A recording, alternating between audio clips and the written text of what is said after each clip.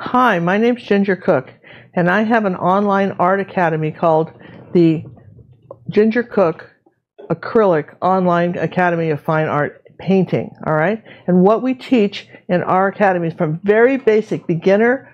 If you've never seen a, an acrylic paint tube in your life, clear up to advanced painting. And how we're able to do that and bring artists along is what we do is we give you the basics. We start you off with the basics so that you understand the ins and outs of making your acrylic paint work. Now, if you'll look at these paintings I have in front of me, some of the things that we, first we're going to show you the materials you need and so forth, but the very next thing we're going to show you is how to make brush strokes, how to do brush exercises and make your brush work. In other words, if you were to do something like this with the different brushes we have, just doodling, these are the learning how to do this enables you to do this. All right, these fine brush strokes. I'm going to move this one out of the way.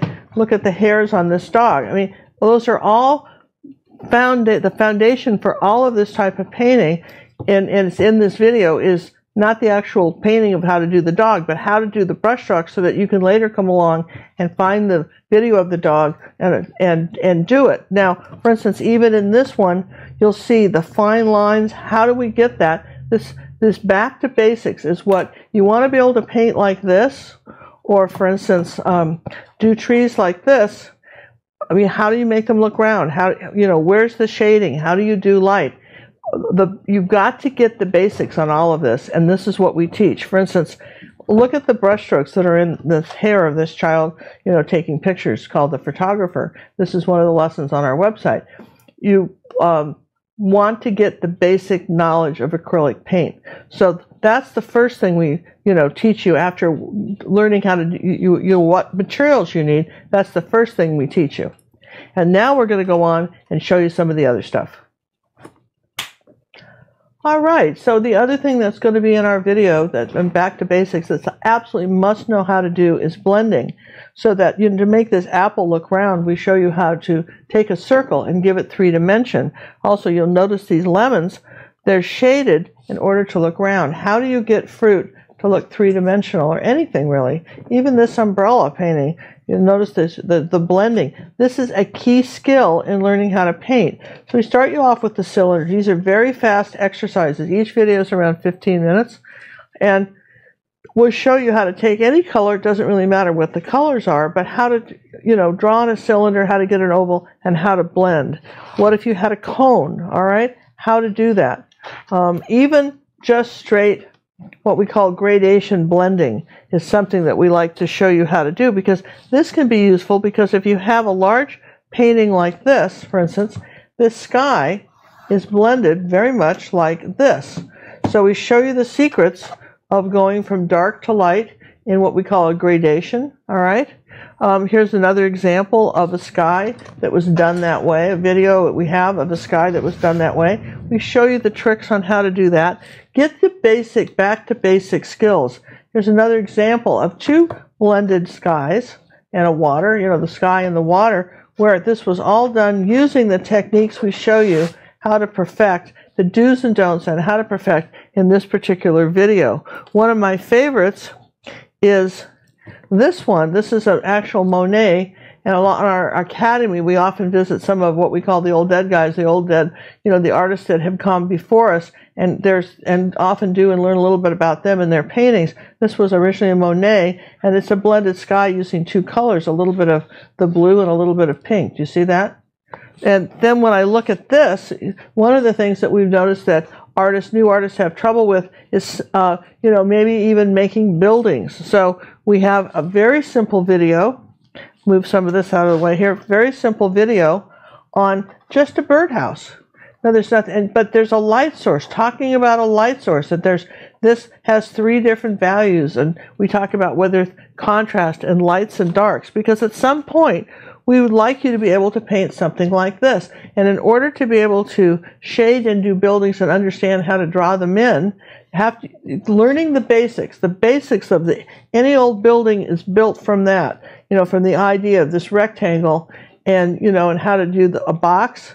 And so this is one of, I think, one of our key videos in the series is uh, and you again, you can take just a few minutes, and these are like piano exercises in the sense that you just paint something small like this little six by eight canvas and get the back to basics down.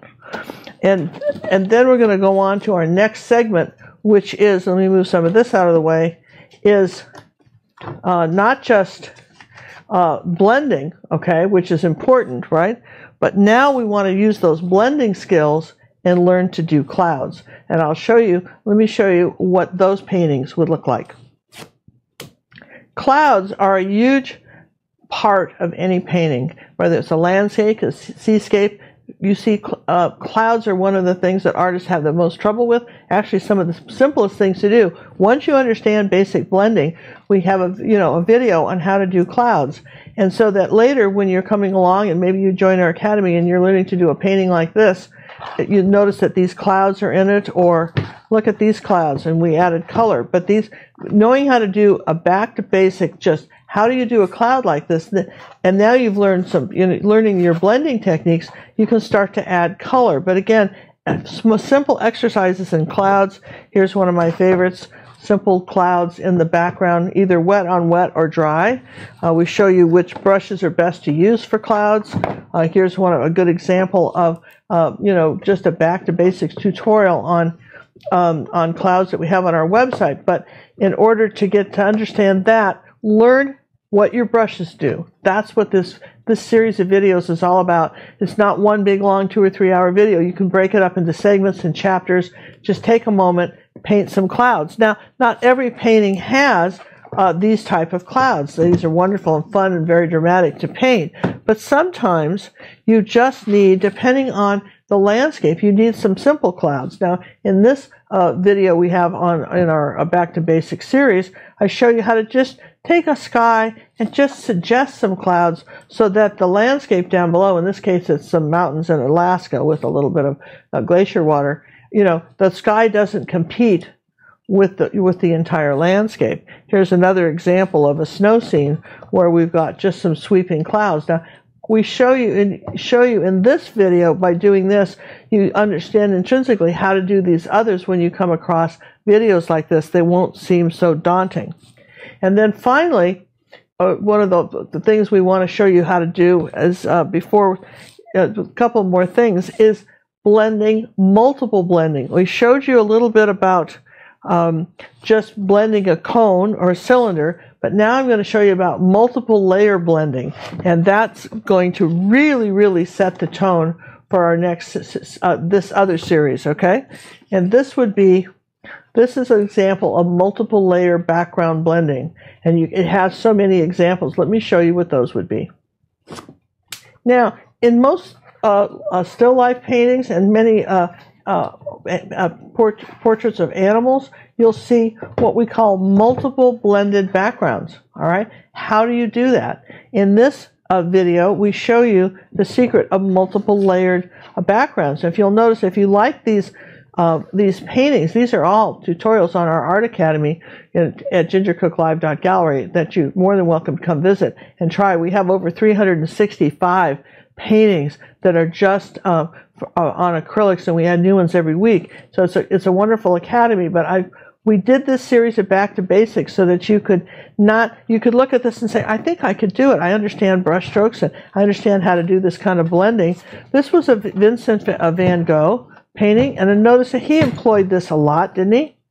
This type of, you know, multi-blended background. You see that? This one was done uh, originally by an artist that lived 100 years before Vincent van Gogh. And again, this style of blending is key to many still lifes. Here's another example of a blended background, changing brush direction. That's the other thing we talk about is brush direction and the difference it makes.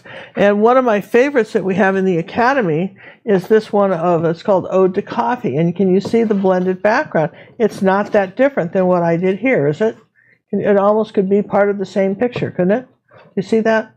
So again, being able to do this type of background is key in uh, learning acrylic painting. If you can get these basic things down, your brush strokes, you're, you know, learning how to blend different shapes, learning about light source and what side of an object should be lighter and darker and how to discover your light source, um, how to do multi-layer bl- blending.